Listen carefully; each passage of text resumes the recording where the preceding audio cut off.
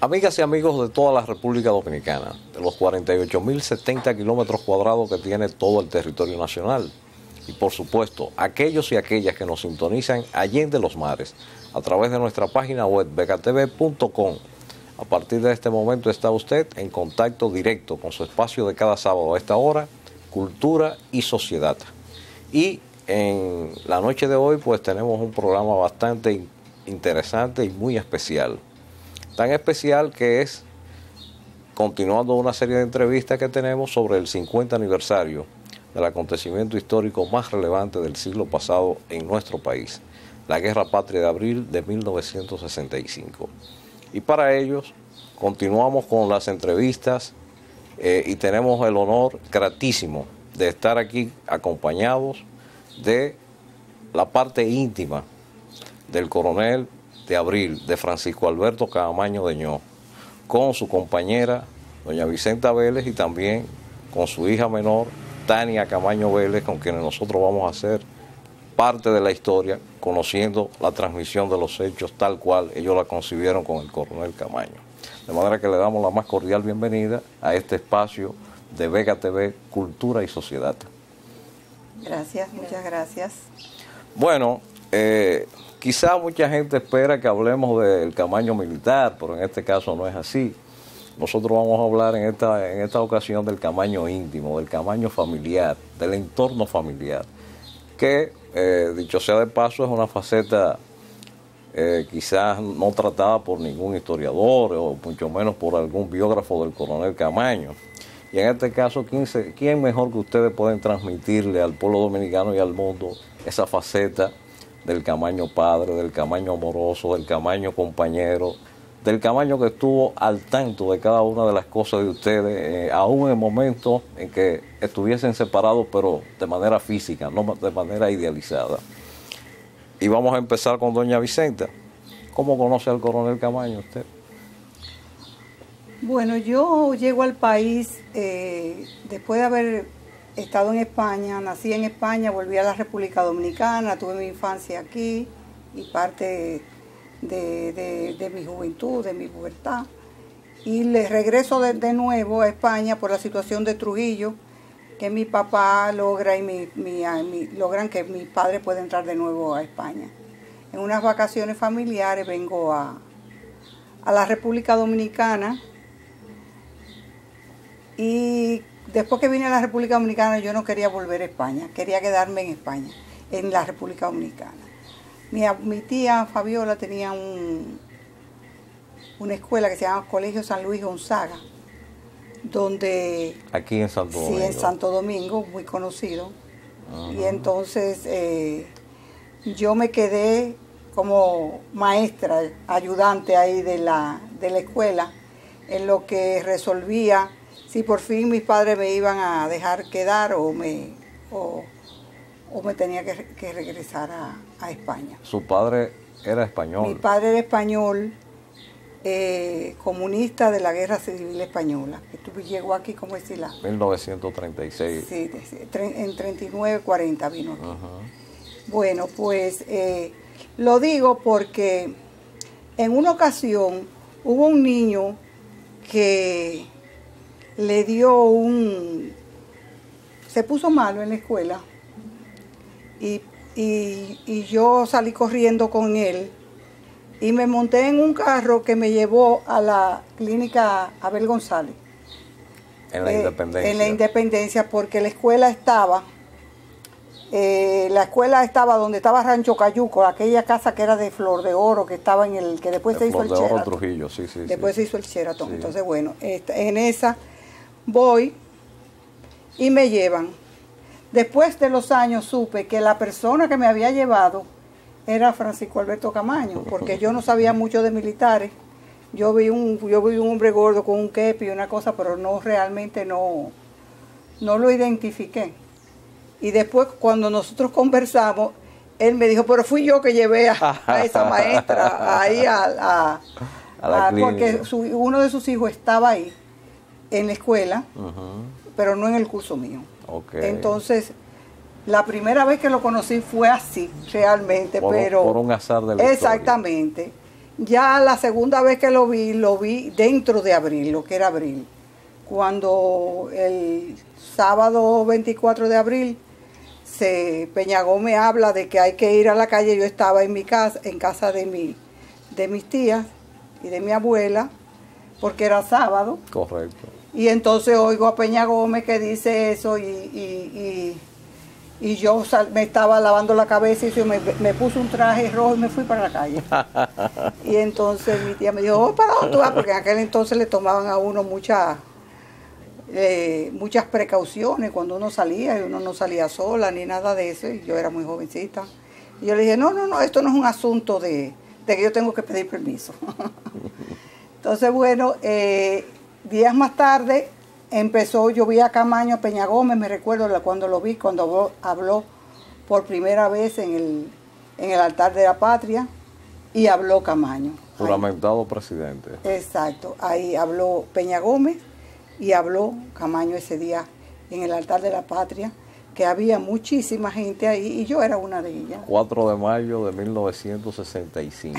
¿Cuánto ha llovido de ahí? Ha llovido bastante, por lo único que por lo único que realmente como mujer no me importa decir que estuve ahí hace 50 años, porque quizá eso amerita que, que ya uno se está poniendo viejo y las mujeres no queremos ponernos viejas, pero el haber participado en abril, eso es algo que es mucho más grande que todo, decir, es un, es un, es un honor tan grande, es una satisfacción tan grande es algo que, que, bueno, que los dominicanos que estuvieron en esa época y que estuvieron participando a abril se lo llevan como un gran honor y como una distinción tremenda y como una experiencia que, que inolvidable, que vale la pena inclusive ser vieja y haber vivido en abril.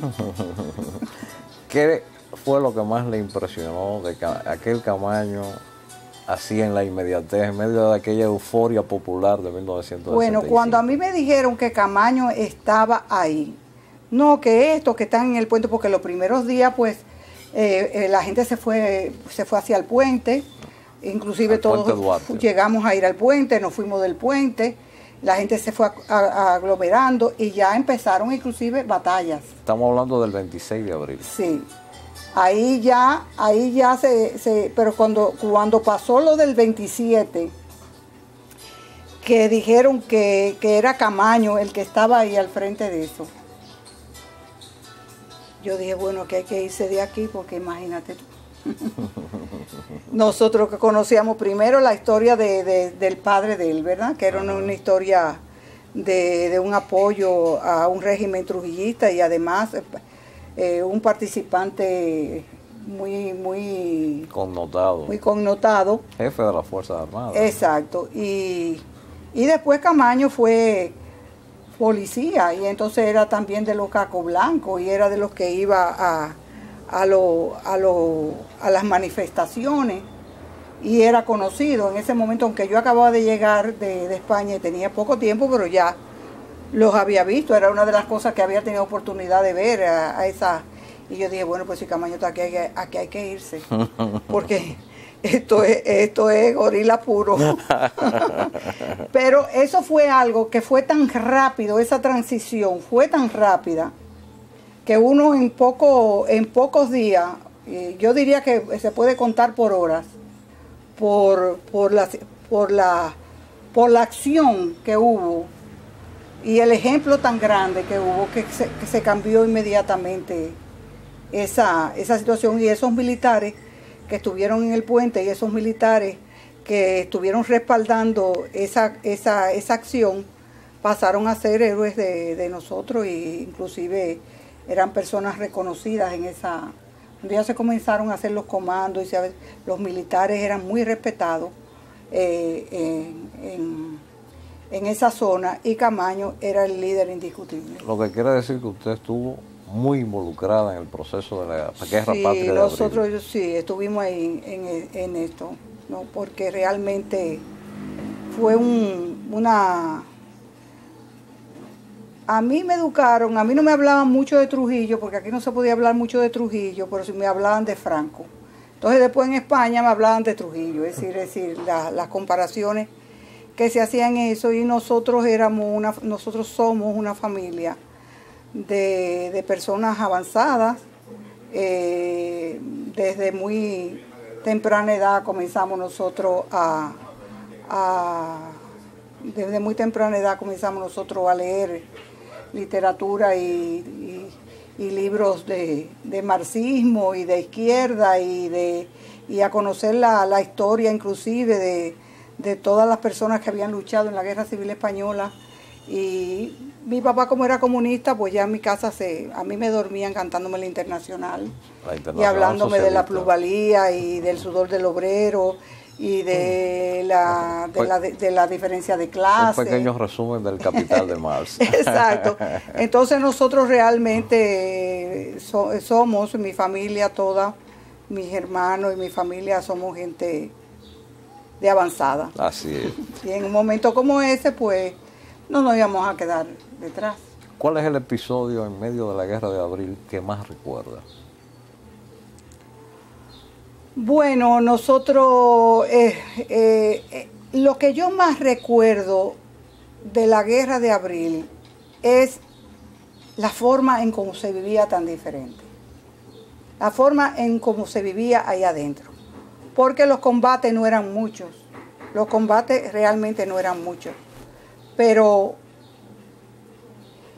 eh, la forma en que se, estaban, se establecieron, los comandos, habían comandos, pero todas las casas que habían, que estaban habilitadas, unas por personas que vivían ahí de anteriormente y otras porque se la habían prestado a otras personas, estaban en disposición de todos. Ahí en ese lugar no había nada que perteneciera a nadie. Ahí estábamos todos. Yo digo que todos nos creíamos que éramos la bandera nacional. Para que los amigos que nos sintonizan fuera del país sepan de qué estamos hablando, de qué lugar estamos hablando. Estamos hablando de la zona colonial y Ciudad Nueva, ¿no? Sí, de la zona colonial, esas. Esa, ese lugar, cuando ya se hizo el cordón, que lograron hacer el cordón, los norteamericanos después de la, los yanquis, después de la invasión que hicieron el cordón, y eso quedó, eh, eh, en, eso quedó delimitado completamente, como si fuera con un cordón de seguridad que era como una cosa fronteriza. Ese lugar ahí era bastión revolucionario de América. Ese era el bastión revolucionario de América, de liberación, de lucha, de dignidad, de patriotismo. Nosotros los que estábamos ahí habían algunos que eh, se conocían a través de sus luchas anteriores, porque habían partidos de izquierda, habían otros, había inclusive partidos que no eran de izquierda, habían comandos de que se hicieron de la, que vinieron de las provincias y se, y se, se hicieron ahí, pero habían, la gente entraba, todo el mundo, las madres estaban apoyando a sus hijos y las que no estaban apoyando a sus hijos estaban apoyando a los comandos, haciendo comida, buscando logística, eh, eh, exhortando. Nosotros íbamos, eh, estábamos, colaborábamos con todas las convocatorias que se hacían. Esas convocatorias que no había que ni pagarle a nadie, ni darle romo a nadie para que fuera, ni pagarle autobuses, ni ofrecerle dinero, sino que ahí iba la gente por su propio peculio, inclusive los que estábamos ahí íbamos, pero de afuera, todo el que, el que, el que venía a apoyar también. Y por eso usted ve en las fotos de abril esa, esa, esa masividad, ese pueblo que estaba ahí. Y que mucho de ese pueblo que estaba ahí era un pueblo armado, con una decisión de morirse por su patria, de libertar a su patria, de no permitir que el invasor extranjero nos, nos humillara a nosotros. Por eso ellos se equivocaron tanto. Entonces a mí, independientemente de, esas, de, esos momentos, ¿no? Que hubo de, lucha armada y inclusive donde murieron muchos compañeros y también nosotros le hicimos muchas bajas al enemigo. Lo que más a mí me caló en mi vida fue que eh, la forma en cómo se vivía ahí. A mí me recordaba pues la Revolución Francesa, las comunas de París. Yo me parecía como que estaba había leído algo de eso, me parecía como que eso era así, donde, donde uno caminaba por las calles y, y, ahí como que no había propiedad privada. La toma de la Bastilla. ahí lo que había era la, una determinación donde todos éramos compañeros, donde la comida que se conseguía se repartía, donde lo que tú tenías se lo dabas al que tú entendías que le hacía falta y estabas en esa disposición. Eso fue para mí eh, lo más impactante de abril, lo más impactante. Muy bien. Bueno, estamos hablando de un periodo de aproximadamente unos cuatro meses, ¿no? Sí. Porque el 3 de septiembre de ese 1965, pues acontece que eh, termina el gobierno revolucionario del coronel Camaño y pasamos a un gobierno provisional para convocar a, elecciones posteriores en 1966. Eh, Camaño entonces se va a Londres y muchos militares de los que participaron con él en abril se fueron a otros países de América Latina, Brasil, Chile, etc. Cuando ya Camaño está en Londres, ¿tienen, eh, ¿tienen ustedes algún contacto eh, ya en su nueva situación que sale prácticamente de, al exilio, vamos a decirlo así, eh, aunque no sea directamente de esa manera, pero salió del país bajo unas condiciones, ¿no? Camaño se va para Camaño se va para, para Londres eh, por una coincidencia. Eh, resulta que él sus últimos meses que vivió en la República Dominicana vivió en la calle Felimariano Lluvere y mi abuela vivía en la calle Felimariano Lluvere. Es decir, que eh, todavía entonces la, ronda era mayor porque todos estábamos eh, cerca. Muy cerca apoyándonos unos con otros. Y yo tuve la oportunidad de verlo en el momento que él se iba para, para, para, Londres. Fue primero a Nueva York y después fue a Londres. Entonces, yo pocos meses después me voy a España también. Eh, me voy a España y en España eh, yo me sentía en España como con Franco, como si estuviera en una cárcel, porque después de uno haber estado en un lugar de, tan, revolucionario, tan de, de, tanta como de tanta acción revolucionaria, de, de haber convivido en eso, entonces uno el contraste todavía resulta mucho más violento, mucho más fuerte. Más chocante. Y yo, bueno, eso era una cosa como que uno no podía ni respirar. Eh, Franco ya estaba también, eh, eh, allá empezaban la gente, los estudiantes a manifestarse, pero yo recuerdo que mi mamá nos decía, miren, a ustedes lo meten preso, pero a su papá lo fusilan, porque a los comunistas aquí lo fusilan. Eso no es otra porque ya nosotros habíamos sabido de algunos compañeros de mi padre que habían fusilado. Entonces, y aún inclusive después, de mucho tiempo después de la guerra, y mi madre nos decía así, a su papá lo, a su papá lo fusilan, a usted lo meten preso, le dan dos galletas y a su papá lo fusilan. Así que tienen que tener mucho cuidado con lo que ustedes van a hacer. Entonces uno se sentía verdaderamente limitado. Y en un viaje que mi hermano, terminando su, carrera de arquitectura, decide hacer de vacaciones, porque en España, en, Europa te, se tiene uno la ventaja de que uno sale en un carrito y camina por toda Europa. Oh, Él me invitó, me dijo, pero vamos a, a hacer este viaje, porque él iba con una novia que tenía. Yo le dije, pero ¿qué hago yo con una novia? Tú vas con una novia. Y dice, no, yo te invito. Digo, bueno, yo voy si tú me llevas a Londres a saludar a Camaño. Y él me dijo, sí, yo te llevo, cogemos el, ferry y vamos. Y así fue. Estuvimos haciendo un, un recorrido y bueno, pues llegamos a Londres. En Londres, como yo lo conocía, yo fui a su casa y conversé con él. Y pues me puse a su disposición de, de que yo quería seguir, de que eso no podía seguir así, de que nosotros teníamos que, que coordinar entre todas las personas que estaban afuera para, para volver a, hacer cosas eh, por nuestro país.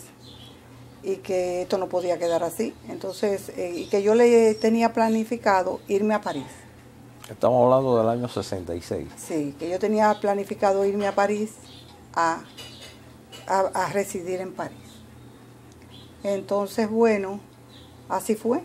Me fui a París y entonces en París ya hicimos, eh, bueno, quiero hacer la, la, historia tan larga porque yo sé que en la televisión los, los minutos son son importantes. No, pero la historia es muy válida. Sí, en, en París eh, ya nosotros empezamos a hacer eh, un, contactos y yo me quedé prácticamente como enlace coordinadora de algunas cosas en París. Durante ese año ya Camaño comienza a decirme a mí cosas que me hacen ver que ya él es, no es el hombre militar que yo había visto, ¿no? Eh, aquella vez que yo no sabía quién era porque era un guardia, ni aquel que yo dije en abril, ese hay que irse de aquí.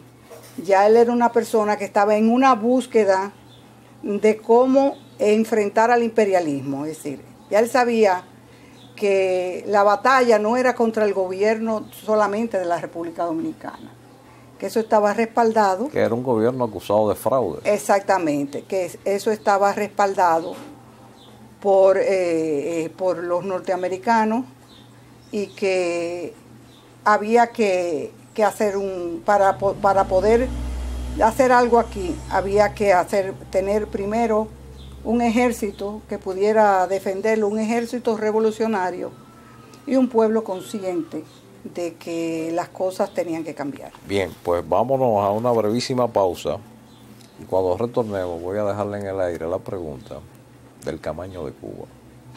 Adelante, señor director. Bien, y aquí estamos de vuelta con su espacio Cultura y Sociedad por Vega TV. Bueno, eh, estamos conversando con doña Vicenta Vélez, compañera del coronel Camaño, y eh, en un diálogo interesante que compartir de cosas que muchos dominicanos y dominicanas no conocen o que desconocen totalmente, porque este es un diálogo íntimo, un diálogo muy familiar, el que estamos llevando a cabo, lógicamente salpicado de anécdotas y recuerdos de la Guerra Patria de Abril de 1965. Bueno, Camaño en Cuba. Bueno, mira, Camaño, primero en, ya en Londres, Camaño comienza a hacer, eh, a planificar, porque Camaño no llega a Cuba como un extraterrestre. Exactamente. Que llegó a Cuba y llegó él ahí. No, ni porque era fidelista, ni porque era un seguidor del Che. Un seguidor del Che. Camaño llega ahí porque era antiimperialista y quería seguir la lucha. Y en el único lugar que él entendía que podía seguir esa lucha era en Cuba. Porque en Europa y en América se había eh, en ese momento los líderes que encabezaban los movimientos revolucionarios, eh, simple y sencillamente que estaban públicos, así en lugares así, eran eh, secuestrados, matados, asesinados, entonces era imposible. Y además eran penetrados también, sus organizaciones eran penetradas y era casi imposible desde un lugar como este pensar que se podía eh, llegar a la República Dominicana para hacer nada que no estuviera detectado o para hacer algo que tuviese eh, posibilidad de triunfo. En otras palabras, Cuba era un punto estratégico para viabilizar un proyecto revolucionario que viniese al país. No, y hemos de decir que Gamaño en ese momento era el hombre, el, porque es el primer militar que se enfrenta al imperialismo yanqui y que no se entrega y que no se rinde. Entonces, Camaño es un hombre que eh, una persona en el mundo sumamente importante por su valor y por su determinación. ¿Qué le hizo llegar a ese punto? Bueno, eso fue, eso, eh, ¿qué le hizo? eso, eso, eso lo hacen las personas que cumplen con su deber en cada momento y que entienden que las cosas hay que hacerlas, que no hay que discutirlas mucho, ni hay que pensarlas mucho cuando, son, cuando, cuando es deber, cuando es necesario, se hacen. Y Camaño siempre fue un hombre que hizo lo que, lo que pensaba. Es decir, lo que él pensaba era su forma de accionar. Cuando fue un policía, pensaba como un policía y lo, y lo hizo y se enfrentaba inclusive eh, no a tiro ni en una manera desigual, sino inclusive con su presencia física. Cuando era pequeño eh, se, metía en los solares con una espada y se ponía a pelear, a la espada él solo. No iba con un, con un, con un ayudante de su papá para que le metiera miedo a, a los muchachos. Él era una persona con esas características de y el valor del pueblo, el valor del pueblo dominicano, la lucha que él vio como militar, eh, pensando casi que era una forma hasta de morir heroicamente en el puente y de dignidad, y que él vio esa batalla que llevaron a cabo los dominicanos que no tienen nombre, que no se conocen, que no, que no, que no andan por ahí retratándose ni haciendo cosas, sino que están precisamente en los lugares de donde la patria lo necesita. En esa parte inclusive, que era una parte eh, de, pobreza de la República Dominicana, ahí estaban esos hombres decididos a que los, el CEFA no iba a pasar ahí, y no pasaron. Se montaron en sus tanques y prohibieron la entrada y derrotaron eh, las tropas especiales dominicanas en el puente Duarte en un acto heroico y sin límites de valor y de decisión, porque no solamente es de valor, solamente, sino de decisión de llegar hasta el final. Entonces, eso para Camaño fue de, una, de un impacto tremendo, tremendo, porque como militar, él pensaba siempre que los militares eran los que podían hacer estos, estas cosas. Y no fueron los militares, los militares fueron bien pocos. Los que fueron fueron el pueblo dominicano, con sus descalzos, con sus manos, con su, con su, inclusive a veces algunos no tenían ni ropa puesta arriba, que se fueron a, encima de ellos y con su valor y con su decisión, con su decisión, cayendo uno y cayendo otro y siguiendo otro y cayendo uno, llegaron a derrotar esas fuerzas. Y ese ejemplo para él fue tanto, tanto, tanto, que lo acompañó hasta el último día de su vida, yo sé. Ese compromiso y ese orgullo de haber estado junto con su pueblo en ese momento. ¿En qué año llega Camaño a Cuba? Camaño llega a Cuba en el 67, un poco después de, unos días después que muere el chico. Oh. Y entonces, ¿cómo viabiliza los inicios del proyecto revolucionario que Bueno, cuando Camaño se va, cuando Camaño va a irse a Cuba, él hace contactos aquí en Europa con militares que están en Europa, que se comprometen a traer otros militares eh, que irían a Cuba a entrenarse y que algunos de ellos formarían parte de la gente que los iba a entrenar para venir aquí a la República Dominicana y con algunos civiles porque se hizo contacto inclusive en venidor con Juan Bosch, con Peña Gómez y con los militares que, lo acompañaban en ese momento, que se hicieron compromisos de, que Camaño iría a Cuba y que ellos también irían, ese grupo iría también ahí a entrenarse compromisos que cuando Camaño llega a Cuba no se cumplen. No se cumplen porque cuando se le manda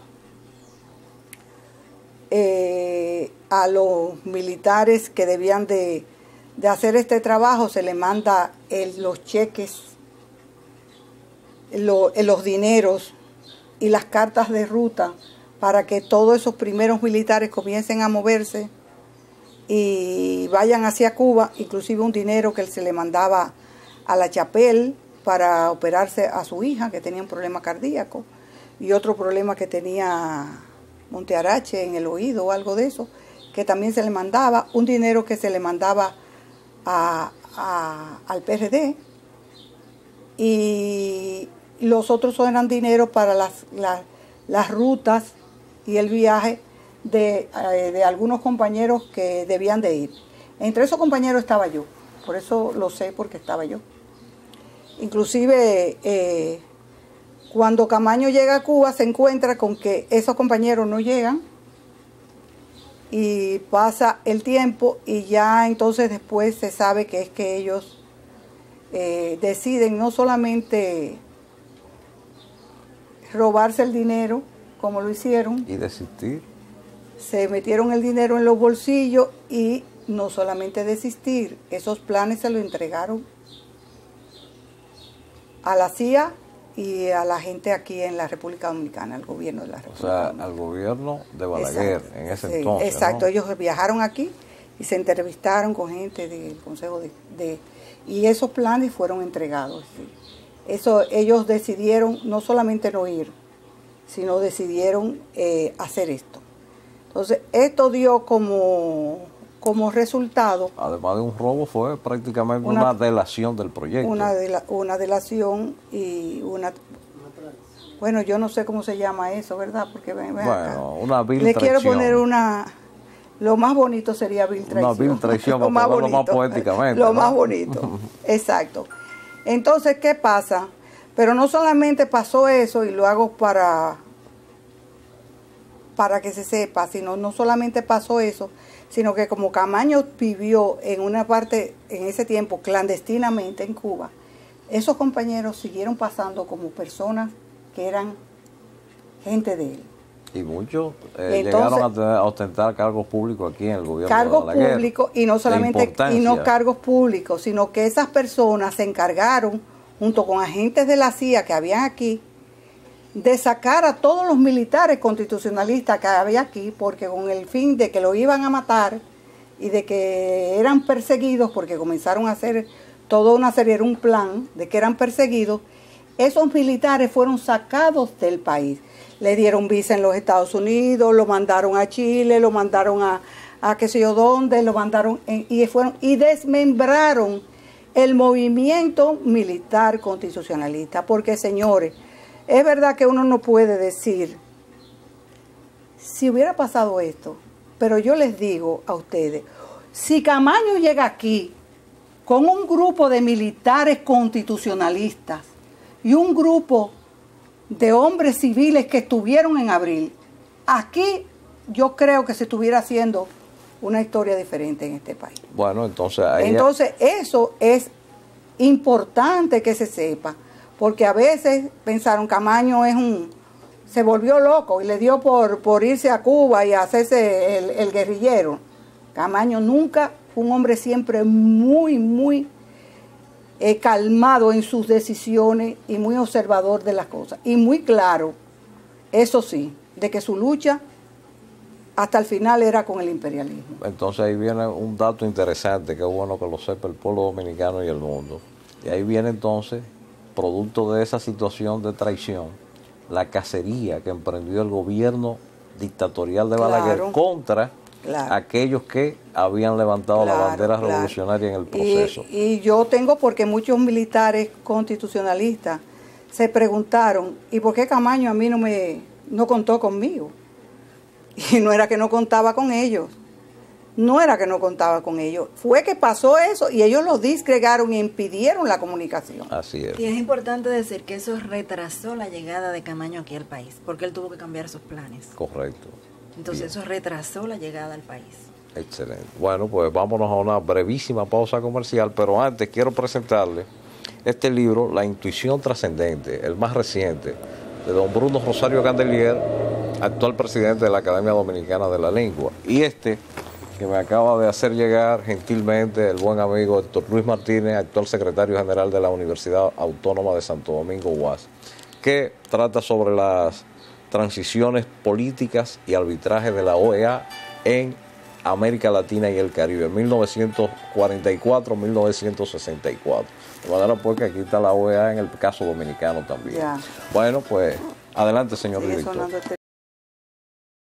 Bien, y aquí estamos de vuelta con su espacio de cada sábado a esta hora, Cultura y Sociedad, por Vega TV. vamos rumbo a nuestro octavo aniversario el próximo 14 de junio. De manera pues que qué mejor que celebrarlo que ahora con el 50 aniversario del el principal acontecimiento histórico del siglo pasado, la Guerra Patria Abril de 1965 y sus protagonistas. Bueno, pues doña Vicente, vamos a pasar al plano familiar.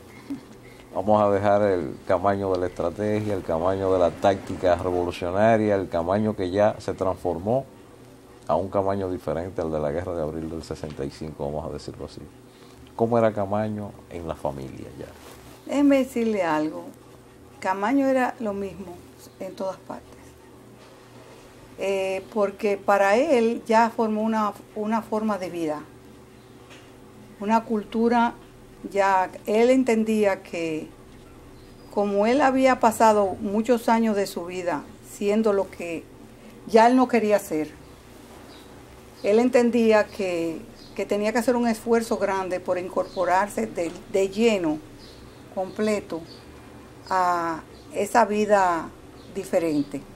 Inclusive como también la idea era eh, la, lucha larga, una, una lucha, una, una, lucha larga, porque la lucha no porque fuera larga, ni porque él fuera un guerrero, sino porque entendía que la lucha era lo que iba a hacer que el pueblo, la conciencia de los hombres, porque cuando uno se da cuenta de lo que está defendiendo, de quiénes son sus enemigos, de quiénes son sus amigos, de qué cosas se debe hacer, de la necesidad de cambiar de actitud ante, ante una sociedad que uno quiere que sea diferente. Uno no puede pedirle a la sociedad que sea diferente si uno no es diferente.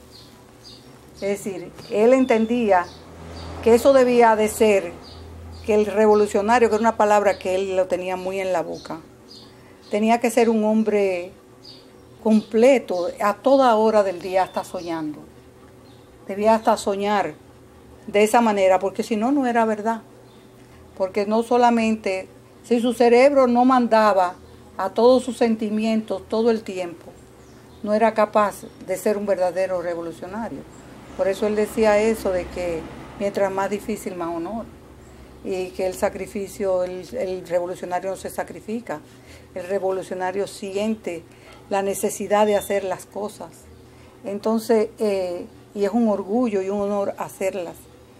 Eh, que uno, su personalidad tiene que, tiene que, que una sociedad debe ser sencilla, debe ser humilde, debe ser consciente, debe ser solidaria, que eso eran, eran cosas que la familia es una cosa que se respeta, que la mujer es una cosa que se respeta, por la cual yo fui muy beneficiada, porque realmente fue una persona que me dio todo su cariño, toda su solidaridad, todo su amor y toda su compañía y que entendía que nosotros no podíamos estar juntos si no pensábamos igual que había que, que ser, eh, y, todos los días, y siempre hablaba de, los defectos pequeños burgueses y de aquello que había que irlo puliendo, que había que irlo mejorando, de que nuestro pueblo tenía que ser un pueblo sencillo,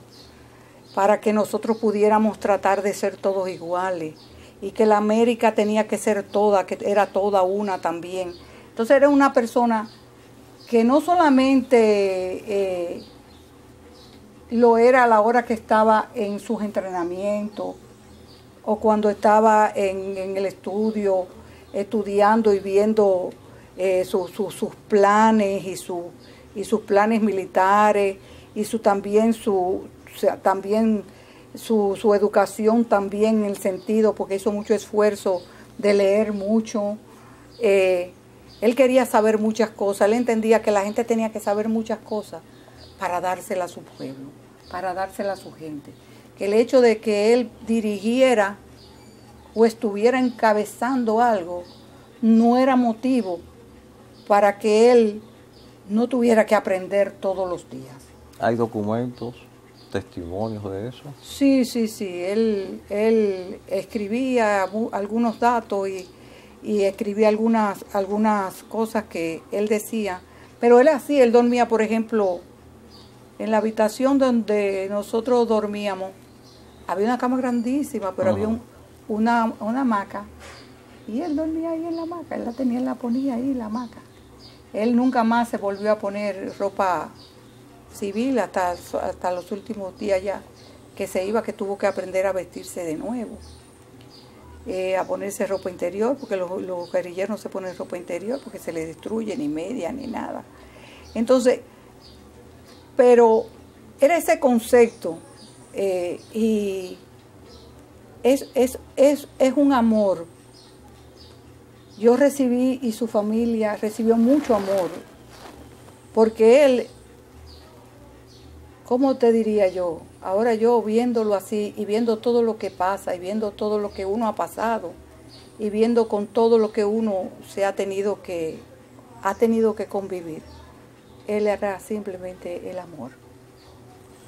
Él era el amor. ¿Hay alguna carta que te haya dejado que...? Sí, él me dejó algunas cartas que yo creía que no estaban, que no estaban, que no estaban en su poder porque eran papelitos que yo le mandaba y cosas que a veces él me respondía, pero yo recogí todos esos papelitos que andaban por ahí, todo eso está por ahí, un día lo vamos a sacar.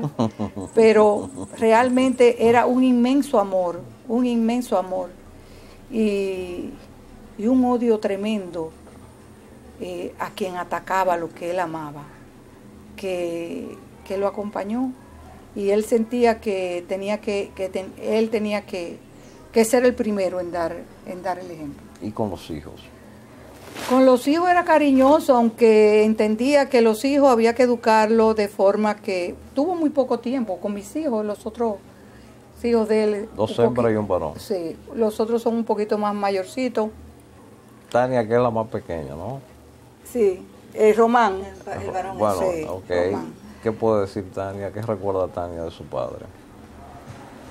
Bueno, yo estaba muy pequeña, yo tenía eh, cuatro años cuando él murió, eh, pero sí tenía una imagen en que pensaba que era un sueño, donde yo me veía meciéndome en una hamaca con él. Y toda la vida crecí pensando que era un sueño, hasta que encontré la fotografía donde la foto aparecía eh, yo meciéndome en esa hamaca con él. ¿Y recuerda ese momento? Y recuerdo eso, ese momento. ¿Qué más señora, de tu padre ya después que físicamente no lo, no lo tuviste más? Bueno, añoro el héroe, añoro el ejemplo, añoro los valores que lamentablemente nuestra sociedad en día carece. Añoro el compromiso, añoro el líder, la valentía. ¿No recuerdo, en fin, así alguna anécdota de él contigo? Esa, esa por ejemplo, eh, eh, él, por ejemplo... Cuando te puso a lavar la... ¿tú, te acuerdas cuando te puso a lavar la, la pared que habían ensuciado? Una vez ensuciaron la pared, la ¿Ah, pintaron, el del pasillo. Ah, sí, en la y entonces sí, y entonces los, porque ellos se pusieron a pintar y eso. Y entonces él le dijo, pues ahora la pintaron, pues ahora la limpian. Y le buscó una... y ahora limpiar eso. y de castigo lo ponía... Eh, Ah, sentada en una sillita. Ajá, en una sillita. No, una eh, sillita la pared. ¿Te recuerdas de eso o no? Sí, sí. ¿Cómo tú piensas que el pueblo dominicano debe reivindicar a Camaño? En unos momentos donde ya hay mucha falta de valor. Con su ejemplo, por eso hablaba de eso mismo, con su ejemplo. Y no necesariamente tiene que ser con las armas, pero sí con el compromiso, con la honestidad, con los valores. Exactamente. Eh, considerando que el trabajo honesto dignifica, no el querer llegar rápido. Precisamente con ese tipo de cosas es que nosotros podemos honrar a nuestros héroes, a él y a todos los hombres que han muerto luchando por la libertad de nuestro país y a todos aquellos que han muerto luchando por la libertad de sus pueblos. Así es. ¿Y las relaciones tuyas con tu madre y la vivencia en torno a la figura de tu padre? ¿cómo bueno, yo he sido afortunada porque he crecido con la gente que lo conoció, por supuesto con mi madre y con aquellas otras personas que estuvieron muy cerca de él por lo que todas estas cosas que estamos conversando las conozco y he crecido con ellas. Precisamente recordando al hombre, al compañero, al hombre, al padre, al amigo. ¿Tiene algún mensaje al, pueblo dominicano a, a, raíz de este 50 aniversario de la Guerra Patria en la que tu padre fue un actor de primera fila? Claro que sí. Precisamente que recordemos a nuestros héroes, que tratamos de imitar con su ejemplo, que eh, trabajemos en conjunto para construir una sociedad mucho mejor, porque todavía esta tierra no es la tierra con la, por la que Camaño luchó y murió. Él quería otra cosa. Él quería eh, dirigentes más comprometidos eh, y que precisamente todos estos gobiernos que hemos tenido, incluyendo el actual y los que han pasado, pues trabajaran para el pueblo y trabajaran para construir una sociedad mucho mejor, donde existiera la educación, el derecho a la salud, el que todas las personas pudieran tener la alimentación necesaria y básica. Así Y el que sencillamente al trabajo y al trabajo honesto que dignifica al hombre. Y que precisamente eh, fuera muy diferente a lo que tenemos hoy en día. Es decir, falta muchísimo por hacer para hacer de este país la tierra de Camaño. Que sigue siendo la tierra de Camaño, pero la tierra por la cual él luchó y murió. Así es, doña Vicenta, un mensaje final al pueblo dominicano y al mundo. Bueno, eh, nosotros eh, los dominicanos, los caribeños y los latinoamericanos tenemos muchas cosas que tenemos que hacer, tenemos responsabilidades que cumplir. América Latina en este momento está jugando un papel importante, importante en este planeta. Está marcando caminos, está marcando la posibilidad de un socialismo moderno, de un socialismo con autonomía de cada pueblo, de pueblos que realmente se están uniendo para hacer un continente mejor, pero realmente, realmente, ¿cómo diría yo? Realmente puro, realmente no es, no es una demagogia. Nosotros estamos ahora inclusive con la posibilidad de sacar al mundo una nueva forma de vivir, una nueva forma de solidaridad, una nueva forma de estar unidos los pueblos sin necesidad de claudicar con ninguno de lo que son de lo que nuestros pueblos, de los derechos de cada uno de nuestros pueblos, de nuestra tierra. Entonces nosotros tenemos la responsabilidad de unirnos los latinoamericanos. Nosotros tenemos la responsabilidad de ser solidarios con cualquier país latinoamericano que esté defendiendo estos derechos. Nosotros tenemos que ser grandes y para ser grandes tenemos que ser latinoamericanos y caribeños juntos, donde se haya, haga una economía que realmente sea justa, no importa qué país sea más pequeño que otro, sea justo, tengamos el mismo derecho cada uno a vivir de la misma manera. Entonces yo pienso que nosotros tenemos que unirnos, porque todos, todos esos, todos esos luchadores, desde Miranda, Bolívar, Martí, Duarte, podemos juntarnos. Ese es un gran ejército. Ese quizás Chávez, Camaño, Manolo, ese es un gran ejército, un gran ejército que nosotros tenemos para seguir nosotros un camino hacia, hacia la verdadera libertad de América. Nosotros tenemos que unirnos, nosotros tenemos que hacer todo esto que hace el imperialismo para separarnos, para dividirnos de las maneras más sofisticadas, a veces inclusive penetrando y ofreciendo empleos, aquello, lo otro, separándonos y creando partiditos y creando otras cosas. Nosotros tenemos que saber que primero nosotros tenemos que tener segura la República Dominicana y que nosotros tenemos que unirnos y que nosotros cuando nos unamos, como nos unimos en abril, donde había de todo, pero ahí había una sola cosa común, que era la libertad y la dignidad de nuestro pueblo y la defensa de nuestros derechos. El día que nosotros hagamos lo que hagamos en abril, vamos a tener lo que nosotros queremos.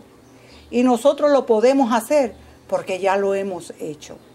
Entonces, esa es eh, lo que yo le pido en estos 50 años de abril al pueblo dominicano, que nosotros eh, volvamos a nuestras raíces y que juntos empecemos a caminar para que la República Dominicana tenga, como decía mi hija, lo que se merece. Bien, bueno, y lamentablemente hemos llegado a la parte final de esta interesantísima entrevista en el día de hoy y aquí en el hogar muy hermoso, ¿no?